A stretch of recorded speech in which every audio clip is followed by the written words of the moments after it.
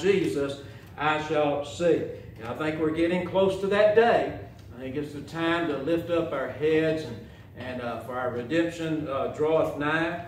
And in the meantime, we want to just keep preaching, keep praying, uh, keep living for the Lord, even in these last days that we're in.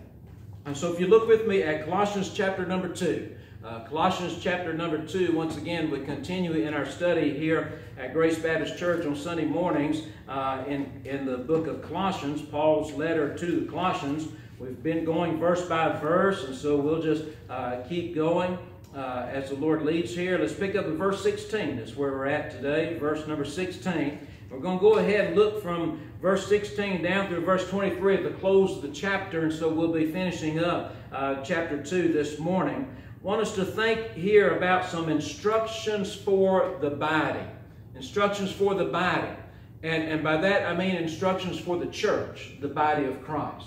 And I think that's what Paul the Apostle is, is, uh, is, saying here. And so let's pick up at verse 16, where the Bible says, Let no man therefore judge you in meat or in drink or in respect of an holy day or of the new moon or of the Sabbath days, which are a shadow of things to come but the body is of Christ. Let no man beguile you of your reward in a voluntary humility and worshiping of angels, intruding into those things which he hath not seen, vainly puffed up by his fleshly mind, and not holding the head, from which all the body by joints and bands, having nourishment, ministered and knit together, increaseth with the increase of God. Wherefore, if ye be dead with Christ from the rudiments of the world, why, as though living in the world, are ye subject to ordinances? Touch not, taste not, handle not, which all are to perish with the using, after the commandments and doctrines of men, which things have indeed a show of wisdom in will, in, in will, worship, and humility, and neglecting of the body, not in any honor to the satisfying uh, of the flesh. Let's pray together. Lord, we do thank you for the reading of the Word of God this morning. And we ask now that you would speak to our hearts through the preaching of your Word and by the presence of your Holy Spirit. Draw us closer to yourself that we might learn more of you, that we might be better equipped to serve you. And Lord, we'll thank you for all you do. In Jesus' precious name we humbly pray. Amen and amen. Thank you. you may be seated. Uh, here in Colossians chapter number 2, let me remind you of some of the things we've been thinking about. How that Paul really appears to be concerned about some errors uh, that were that had endangered uh, the Colossian church, and these are errors that are still a danger for us today.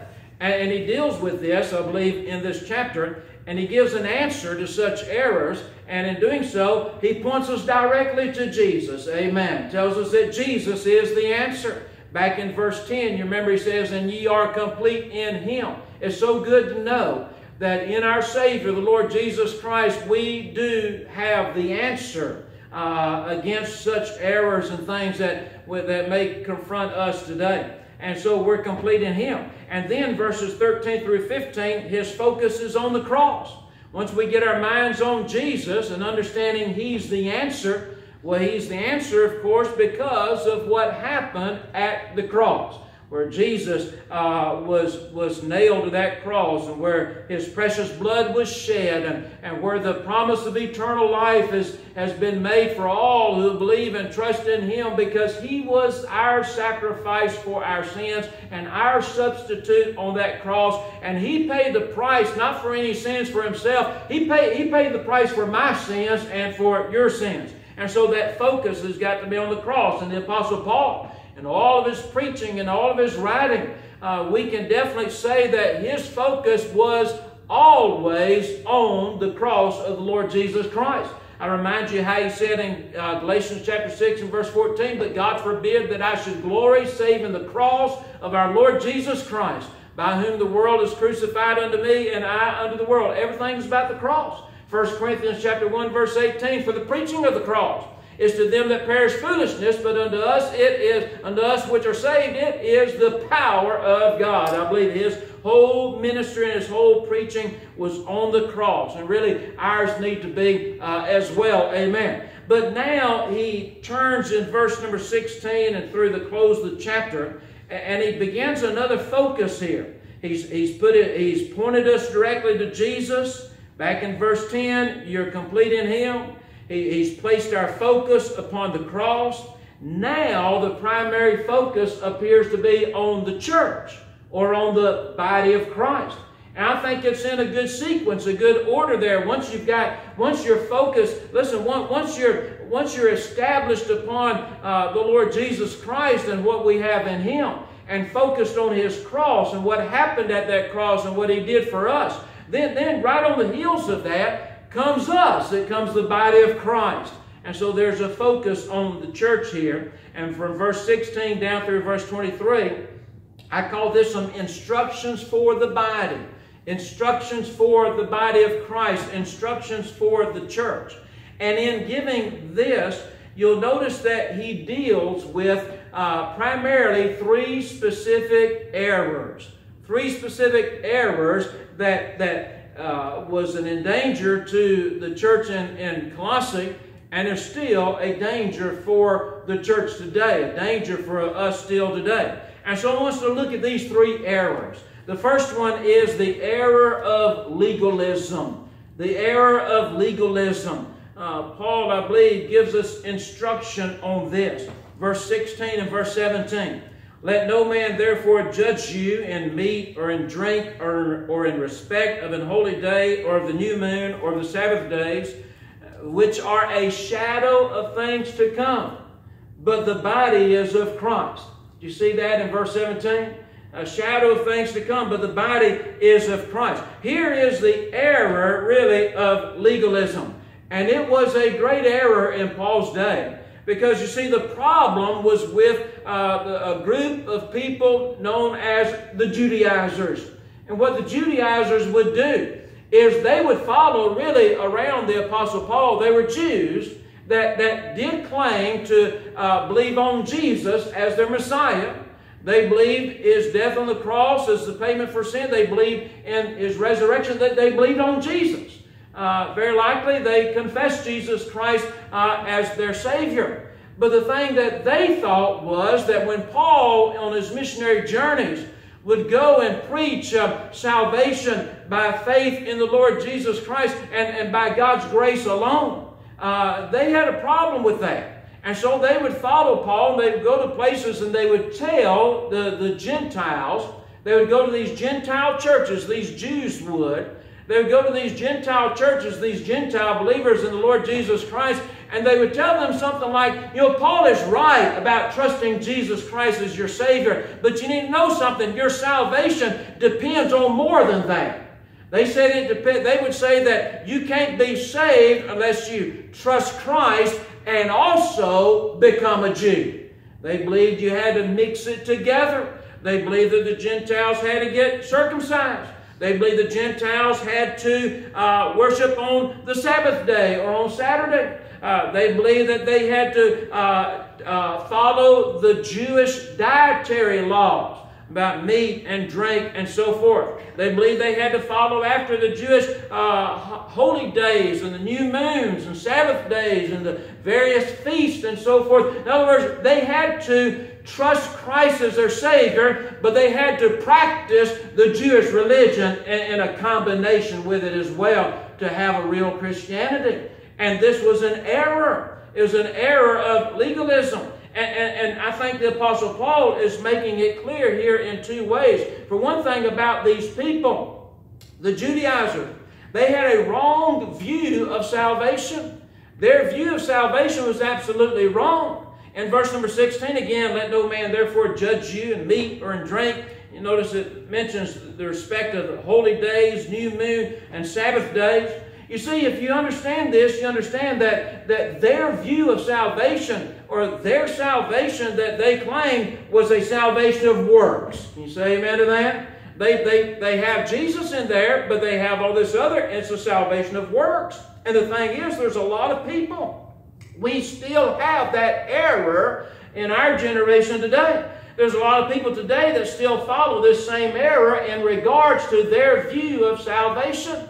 But the New Testament has made it very clear that salvation is not of works at all, but that salvation is all of the grace of God. Amen. Ephesians 2, verse 8 and 9. For by grace are you saved through faith, and that not of yourselves, it is the gift of God, not of works, lest any man should boast. How do we not understand that statement? It's not of works, period. it's just not of works. And, and, so they were wrong in their view of salvation here. And if you remember Romans chapter number 3, Romans chapter number uh, 3 and um, uh, verse, uh, verse 23. Romans chapter 3, verse 23, you know the verse, for all have sinned and come short of the glory of God. But then notice the following verses, verse 24, being justified freely, how?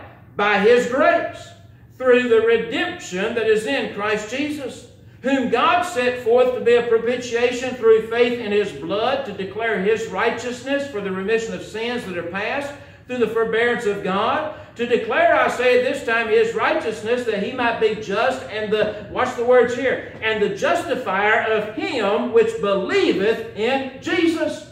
Nowhere does it say that God is the justifier of him that believes in Jesus and practices the Jewish religion. You know, that's not in the scriptures anywhere at all. And you can't make it to uh, have any kind of truth to it at all. They had a wrong view of salvation. And there are a lot of people. Uh, there's a lot of people in that day. There's a lot of people in this day. And, and, and think about the people in, in the day when Jesus uh, was upon this earth and what he said in Matthew chapter number 7. In Matthew chapter 7, verse 21 down through verse 23, he said, Not everyone that saith unto me, Lord, Lord, shall enter into the kingdom of heaven, but he that doeth the will of my Father which is in heaven. Many will say to me in that day, Lord, Lord, have we not prophesied in thy name? And in thy name have cast out devils, and in thy name have done, uh, done many wonderful works? Then will I profess unto them, I never knew you. Depart from me, ye that work iniquity. Jesus said it's not everyone that just says, Lord, and then does all this other religious stuff along with it, and they're depending upon those works, they're depending upon that religion. He, he says that these people, uh, they, they will, are, are not going to enter into the kingdom of heaven. The only ones that enter in the kingdom of heaven are the ones that do the will of my Father which is in heaven. And what is the will of, of God the Father which is in heaven? His will is that we believe on and we trust in and we accept Jesus Christ and God's grace by faith in order to be saved. Amen. It's not His will that we add all these other things that the Judaizers were trying to get the Gentile believers uh, to do. They were causing a lot of confusion uh, in the churches that had been started as a result of the Apostle Paul's missionary journeys because they had a wrong view of salvation. That's the problem of legalism. That's the error of legalism. Now let's understand this. I'll give you just kind of a side note here for us to really have it clear in our thinking. Legalism applies, the term legalism applies uh, specifically, I believe, to our view of salvation. we, we the Bible does teach that we should have uh, some standards, and I think we should all say amen to that. And there are those who say that, well, if you have a standard, about, about how you dress, about where you go, about the things that you do, and, and you, have, you have a standard in your life uh, that you are living out uh, because you want to be right with God. You want to be uh, pleasing uh, to the Lord as you serve the one that you've put your faith and trust in uh, uh, as Savior and Lord of your life. And there will be those who will shout legalism. They'll say, legalism, you preach this standard or that one or other. They say legalism. The thing, the problem with that is this: legalism doesn't is not applied to standards, biblical standards in the Christian life. Legalism refers to the view of salvation. A legalist is someone that will preach and believe that you have to do these certain things in order to really be saved. We don't believe that. We don't believe that, that we uh, have our standards and we seek to live by our standards because it's living by the standards that, we're, that we have our salvation. We don't believe that at all. We believe we have some standards because we want to be pleasing to the Lord who has saved us. Amen? And so understand where legalism, the term, should be applied. It all is about salvation, a wrong view of salvation. But I think it's also a wrong view of the church. The error of legalism has a wrong view of the church or the body of Christ. You'll notice in verse number 17 where the apostle writes, which are a shadow of things to come. Now, what's he talking about when he says which? He's referring to those things that he mentioned there, verse 16 uh, meat, drink, uh, the holy days, the new moon, Sabbath day. He says, which, you know, these things are a shadow of things to come, but the body, the body is the church. Amen? The body is of Christ. They had a wrong view of the church. Their uh, wrong view of salvation led them to a wrong view of the church.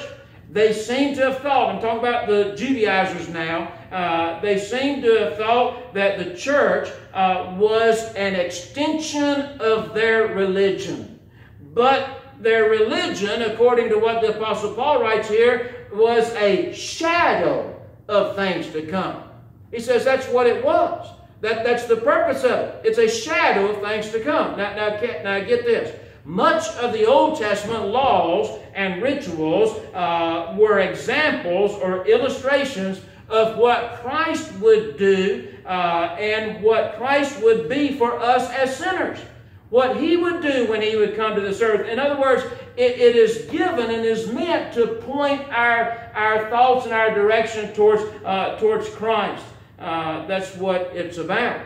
And since he has come, since Jesus Christ has come to the world, and since he has gone to the cross of Calvary, and since he has died and was buried and rose again the third day, is ascended back to heaven, and we have his promise that he's coming back, back again. Since he has come, uh, listen, the, the, the, the, the symbols, the rituals, the illustrations, all those things that would point to him, we don't have need of those again. Amen. We don't, we don't have need of those when it comes to the church when it comes to salvation. Let's look at, at some of this in, in Hebrews, Hebrews chapter 8. And I could read a lot, but for sake of time, I'll just kind of limit a little bit uh, what we'll look at. I would encourage you to go back and read uh, Hebrews chapter 8 and chapter 9 and chapter 10 and, and study this. Uh, Hebrews chapter number uh, 8, and um, let me just pick up with verse number uh, 5, well, I'll get it kind of in a context to start with verse 1, if you're following along there. Hebrews chapter 8, verse 1. Now, the things which we have spoken, this is the sum. We have such an high priest who is set on the right hand of the throne of the majesty in the heavens. That's Jesus. A minister of the sanctuary and of the true tabernacle, which the Lord pitched and not man. For every high priest is ordained to offer gifts and sacrifices, wherefore it is of necessity that this man have somewhat also to offer. For if he were on earth, he should not be a priest, seeing that uh, there are priests that offer gifts according to the law, who, now watch this, verse 5, who serve unto the example. You see that word? The example and shadow of heavenly things. As Moses was admonished of God when he was about to make the tabernacle, for see, saith he, uh, that thou make all things according to the pattern showed to thee on the mount. And then verse 6 But now hath he obtained a more excellent ministry, by how much also he is the mediator of a better covenant, which is established upon better promises. Now, what is that better covenant that the Lord Jesus Christ and the better promises that he's established for us? Look over to Hebrews chapter 10. Hebrews chapter number 10. And uh, let me pick up verse 24 of chapter 9 also. Hebrews chapter 9, verse 24 For Christ is not entered into the holy place made, made with hands, which are the figures of the true, but into heaven itself, now to appear in the presence of God for us. Jesus does not go into a tabernacle or temple or holy place here on the earth as the Jewish priest would do that we read of in the Old Testament and then in the New Testament in the Gospels of Matthew, Mark, Luke, and John. No, Jesus, he, his sacrifice has been presented before God in heaven. Jesus has appeared before God in heaven. And so why is that? We'll look at chapter 10 now. Uh, Hebrews 10, verse 1 For the law, having a shadow of good things to come, and not the very image of the things, can never, now here's the key here, can never with those sacrifices which they offered year by year continually make the comers thereunto perfect or complete. He says, For then they would, uh, they, uh, would they not have ceased to be offered? Because that the worshippers once purged should have had no more conscience of sins. But in those sacrifices, talking about the Old Testament law, the Jewish uh, practices, but in those sacrifices there is a remembrance again made of sins every year, for it is not possible that the blood of bulls and of goats should take away sins. Wherefore, when he cometh into the world, he said, Sacrifice and offering thou wouldest not, but a body hast thou prepared uh, me. Burnt offerings and, and sacrifices for sin thou hast had no pleasure. Then said I, Lo, I come in the volume of the book. It is written of me to do thy will, O God. O God, this is talking about what Jesus did when he came and when he went to the cross. He says, Above when he said, Sacrifice and offering and burnt offerings and offering for sin thou wouldest not, neither hadst pleasure therein which are offered by the law. Then said he, Lo, I come to do thy will, O God. Watch this. He taketh away the first that he may establish the second. By the which, that is, by the second, by the which will we, uh, by the which will we are sanctified through the offering of the body of Jesus Christ once for all. Those things that the Judaizers were trying to get the Gentile churches to do, they're trying to get them to be circumcised, trying to get them to have the dietary laws, trying to get them to observe the Sabbath days, the holy days, the new moons, the feasts, and all of these things that, that they had and they practiced. And they said, you've got to accept Jesus, but you've got to become a Jew. You've got to do all these other things as well. My friend, they had a wrong view of salvation, a wrong view of the church. It's the error of legalism. And in their view of the church, the Apostle Paul now says in our text in Colossians chapter number 2, verse 17, but the body is of Christ. And so understand this this morning.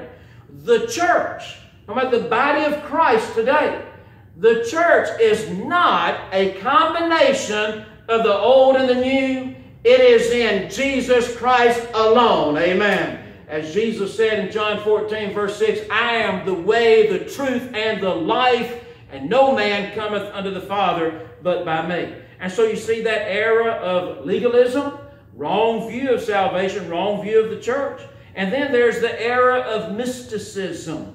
The era of mysticism. That was a problem as well to the uh, Colossian church. Let's notice verse 18, verse 19 in Colossians chapter 2. Let no man beguile you of your reward in, in, a, in a voluntary humility and worshiping of angels, intruding into those things which he hath not seen, vainly puffed up by his fleshly mind. That's a key to understanding the error there is it's of his of man's fleshly mind, and not holding the head, from which all the body by joints and bands, having nourishment ministered and knit together, increaseth with the increase of God. And so you've got the error of mysticism. And so think about this together. Uh, just, just as much as it is wrong to try to mix Judaism with Christianity, it is also wrong to mix paganism with Christianity as well. Amen? It's wrong to mix it. And people try to do that today.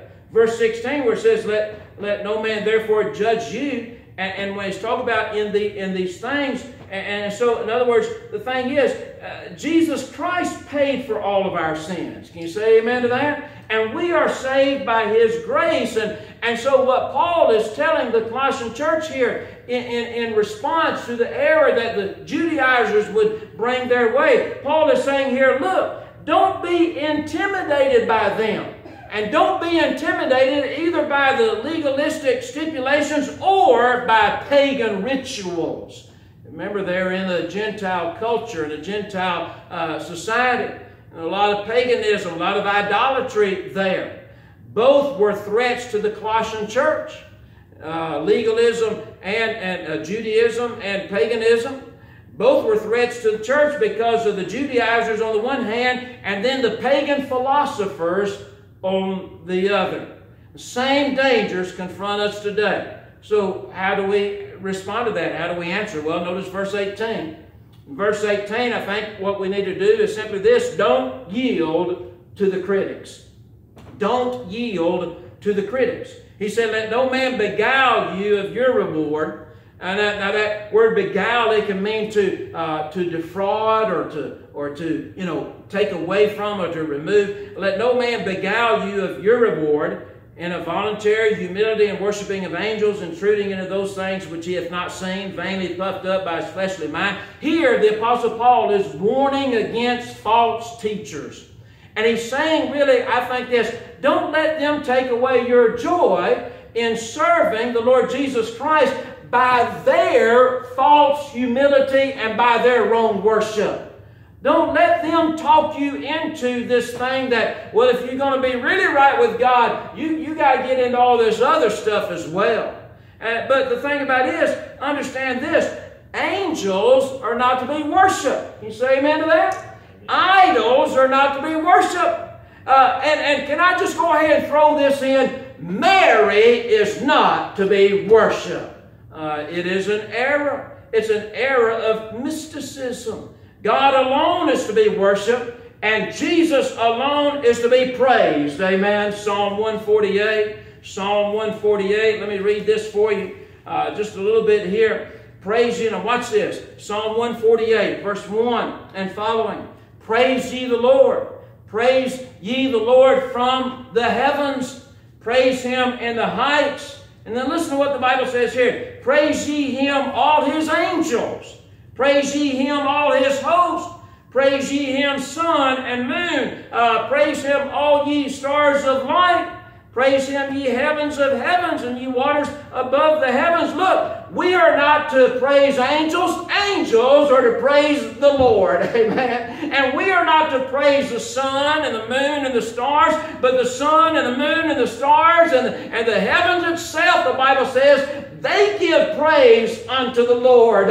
They praise God and they praise our Savior, the Lord Jesus Christ. Uh, it is an error of mysticism. Uh, we are not to worship or to praise uh, such things. We worship and praise our Savior, the Lord Jesus Christ alone. Amen. It's all in Him. So don't yield to the critics that try to criticize you and try to take away your joy and, and say that, you know, you're, you're, you're really following something wrong. No, we're, we're worshiping the one and only God, and we just don't need to yield to uh, such critics or criticism. Uh, we need to yield to Christ. Number two, amen, yield to Christ. Verse number 19. In verse 19, uh, and not holding. Now, this was a problem with those that were involved in this mysticism, worshiping uh, the angels and the idols and so forth. It says, and not holding the head, from which all the body uh, by joints and bands have, having nourishment, ministered and knit together, increaseth with the increase of God. Their mistake was they would worship all these other things and they'd say that, well, you need to be uh, doing this and this error and this problem of, of mysticism, but they would not hold the head, which is Jesus Christ. Remember, we're talking about the body, talking about the church, and talking about instructions for the church. Understand this Jesus Christ is the head of the body, He's the head of the church. Amen and we are members of His body, and so thus we should look to Him. We don't look to the stars and the heavens and the angels or the idols. We look to Him. Amen. Because He is the head. Colossians chapter 1, you remember this? Verse 15, who is the image of the invisible God, the firstborn of every creature. For by him were all things created that are in heaven and that are in earth, visible and invisible, whether they be thrones or dominions or principalities or powers, all things are created by him and for him, and he is before all things, and by him all things consist. Listen, and he is the head of the body, the church, who is the beginning, the firstborn from the dead, that in all things he might have the preeminence. For it pleased the Father that in him should all fullness dwell. He is who we look to, amen, to worship and to praise. We yield to him. And then, then in that verse in Colossians 2, verse 19, you notice uh, that phrase there at the end of the verse where it talks about being, uh, of course, being knit together, joined together with the head, the Lord Jesus Christ. Words, He's the head of the body, He's the head of the church. And then it, and then it says, increaseth with the increase of God. I don't know about you, I, I like that. That sounds good to me. Increase it. That is when we are when we hold to the head, when we're joined to the head, when we're joined to the Lord Jesus Christ, then then then we have that in we can increase with the increase of God. In other words, it's simply this spiritual growth and blessings uh, that only God gives, and He only gives it through Jesus Christ. Amen. 2 Peter 3.18, but grow in grace and in the knowledge of our Lord and Savior, Jesus Christ. Romans chapter 12, you remember, I beseech you, therefore, brethren, by the mercies of God, that you present your bodies a living sacrifice holy, acceptable unto God, which is your reasonable uh, service. You see, our thing is we're not to yield to uh, those that would criticize. We don't yield to those that follow after this mysticism. No, we yield to the Lord Jesus Christ because He alone is the head of the body. He's the head of the church. And you see, they miss that. They say, well, you worship all these other things. And so the era of legalism followed by the era of mysticism. But then also the Apostle Paul deals with the era of asceticism. The era of asceticism from verse 20 down through verse 23. And by that, what, we, what, what, what is meant is this. Asceticism is, is, is what is the practice, a definition, the practice of strict self-denial as a measure of personal and especially spiritual discipline. In other words, it's described there such practice. Now, I just give you two things that are a problem with this. One is that, that it, it only involves the, the, the uh, false doctrines of men. It's the false doctrines of men, this practice of asceticism. Notice verse 20, verse 21, verse 22. Wherefore, if ye be dead with Christ, from the rudiments of the world. Why? As though living in the world are ye subject to ordinances. And, and then he gives a list here touch not, taste not, handle not, which all are to perish with the using after the commandments and doctrines of men. You see, it's the false doctrines of men that say that, well, to really be right spiritually, uh, you, you've got to you, have got to have strict discipline and, and, and you just touch not, you taste not, uh, you handle not. That's that era of, of uh, asceticism and all of these things. Here's the problem. All of these things are man-made. Amen. There's nothing biblical or scriptural about them at all. All of them are man-made and, and they are uh, very much the, the really the vital part or the essence of false religions and cults today, such as Hinduism and Islam and Roman Catholicism would be in that category as well. Uh, false doctrines of men.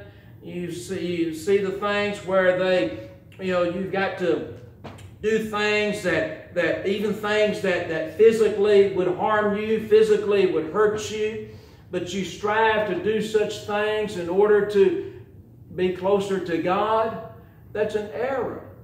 Being close to God does not involve things like this. It's the error of asceticism, the false doctrines of men. But it's also a problem of it is there, it, it's the failure to honor God.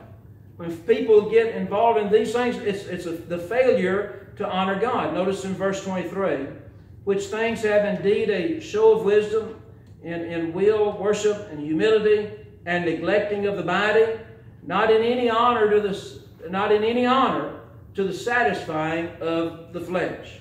In other words, think of it like this. What Paul is saying here is these are things that really don't honor God. All they do is satisfy the flesh. They give you some idea that when you practice such things that, that, that you can gain a reputation for holiness.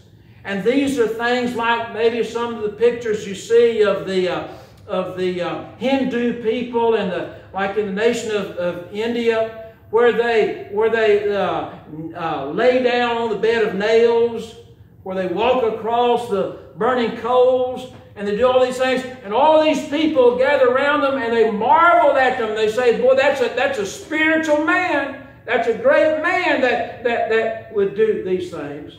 What Paul the Apostle is saying here simply is this these things do not honor God.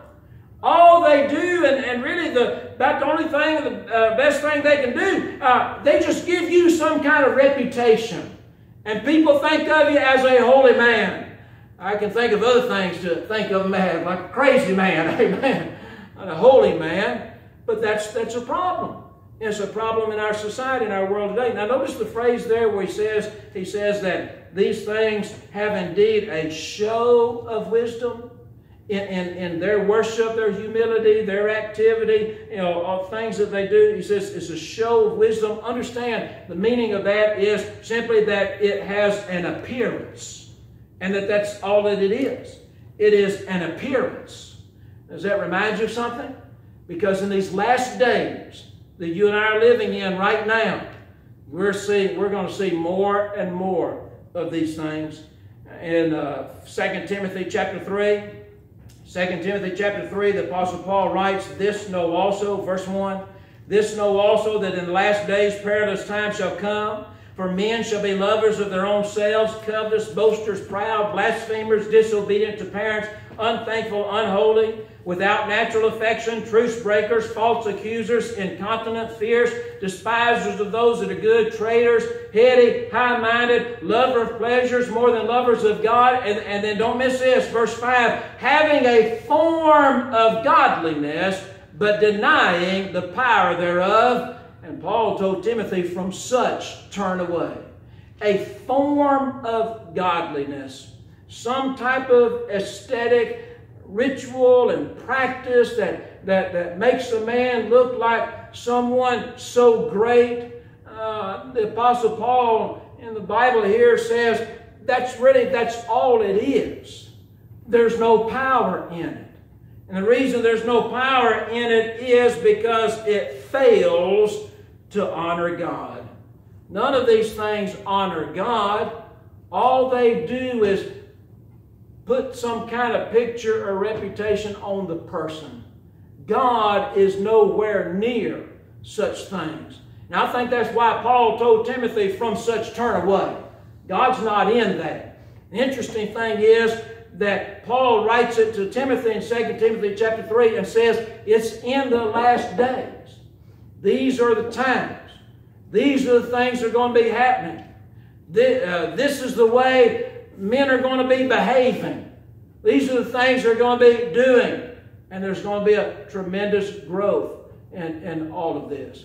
All of these things there is. Uh, I uh, probably shouldn't take the time. I, will just mention to it very, very, uh, uh, try to mention to you very briefly.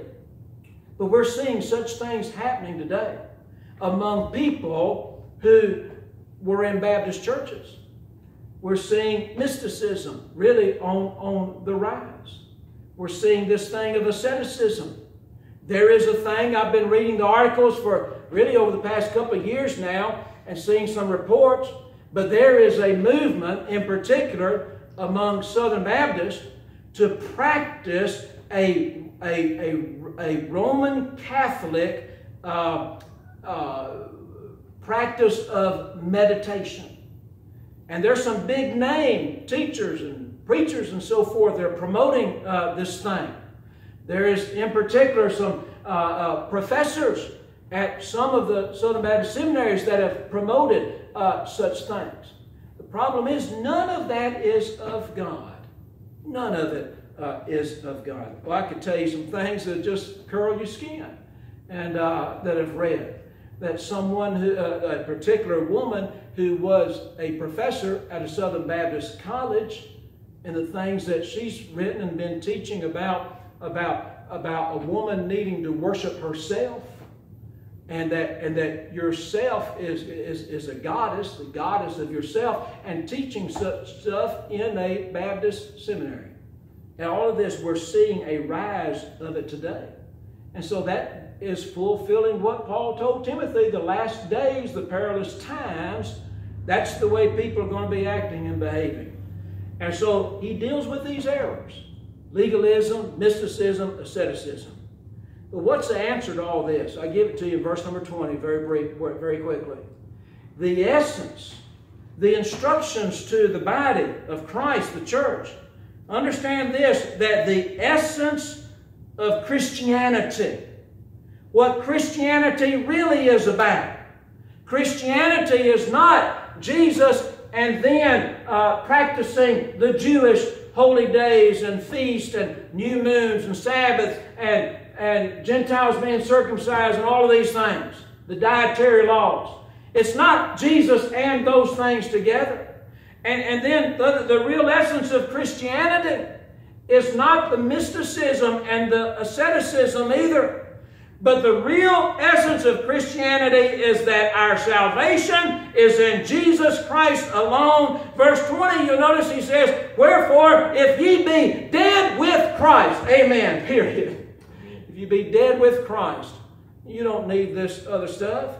The real essence of Christianity is that our salvation is in Christ alone, uh, that, that our life is in Christ alone, and that to be saved means that you have been made alive in the Lord Jesus Christ. Amen. Look at Colossians chapter 3. Colossians chapter 3. If ye then be risen with Christ, seek those things which are above where Christ sitteth the, on the right hand of God, set your affection on things above, not on things on the earth. For ye are dead, and your life is hid with Christ in God. When Christ, who is our life, shall appear, then shall ye also appear with him in glory. You see, Paul is making it clear for us to realize as a church, church, we don't, we don't add these errors. We don't, we don't follow any of these other things our faith, our salvation, our life, it is all in Jesus Christ because in Jesus we are absolutely dead to this world and dead to ourselves. Ephesians chapter 2 verse 1, and you have he quickened who were dead in trespasses and sins.